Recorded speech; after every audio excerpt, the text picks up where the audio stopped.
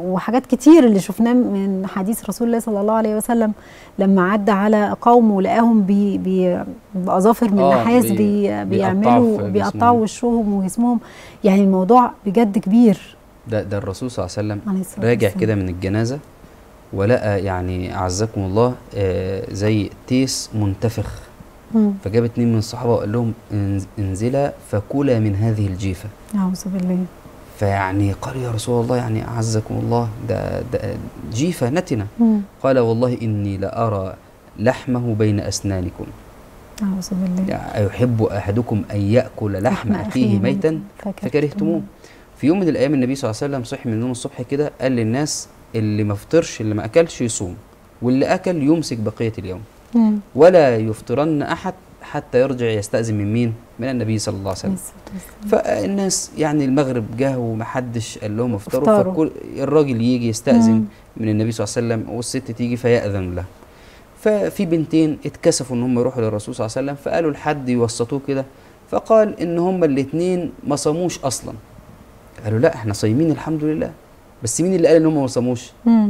النبي صلى الله عليه وسلم فقال مرى هذان يعني أو هاتان تستقيء. كل واحدة ترجع اللي إيه ال- اللي في بطنها. فلما رجعت كل واحدة يعني رجعت علقه من دم. أعوذ بالله. وكأنها أكلت لحم أختها. مم. فقال والله لو ظلت في بطنهما لا حرقتهما في النار. آه يا الموضوع خبر. مش سهل. كانوا بيتكلموا يعني في الوقت ده على. حد. آه. ف- فكأن النبي صلى الله عليه وسلم ولذلك الرسول صلى الله عليه وسلم قال من لم يدع قول. الزور والعمل به فليس لله حاجة أن يد أن يضع طعامه وشرابه.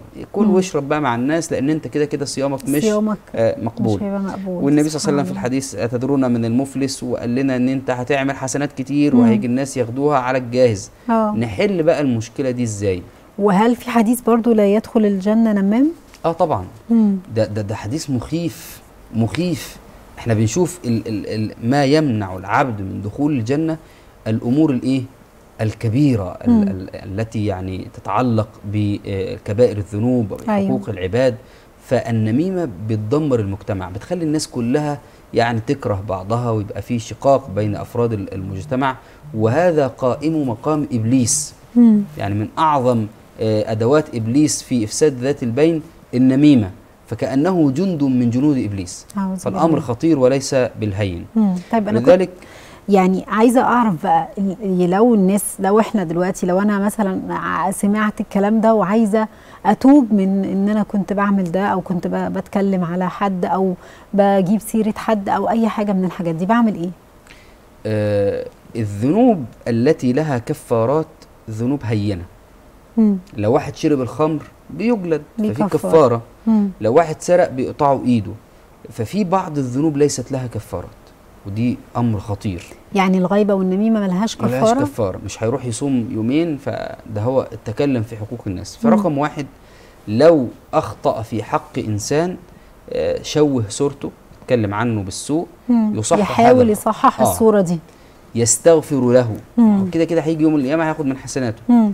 يستسمحه طب لو أنا رحت وقلت له أنا اتكلمت في حقك المشكلة هتكبر ومش هنعرف نحلها ولا. هنعرف نلمها يبقى خلاص مش لازم أقول بس أحاول أول حاجة أوقف الموضوع ده تماما ما اتكلمش مرة تانية ولو أنت بتكرهه عادي إحنا ممكن حد يكره حد. لو أنت كرهه من الذكاء ما تديلوش حسناتك. حسناتك. انت كده بتهديه أفضل ما لديك. لا وحضرتك قلت كمان يستغفر له يعني أنا هدعي له دلوقتي بأن ربنا يغفر له. إن ربنا يغفر له. يعني إحنا فأنا يعني أنا دلوقتي زعلانة ولا متضايقة منه ولا هدعي له؟ يعني أنا الأولى إن أنا بقى أسكت ما أتكلمش آه خالص. احفظ لسانك. الإنسان يحفظ لسانه.